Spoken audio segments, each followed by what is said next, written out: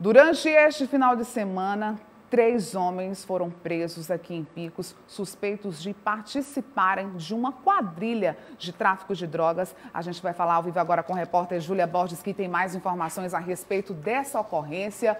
Bom dia, Júlia.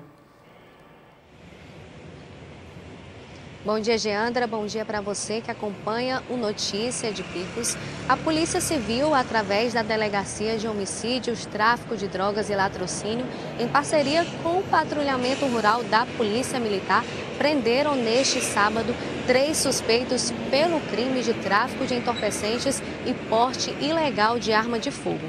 A prisão aconteceu na rua Pascoal Gomes, no bairro Boa Sorte, aqui em Picos. Segundo a polícia, o trio usava o local para guardar drogas prontas para comercialização.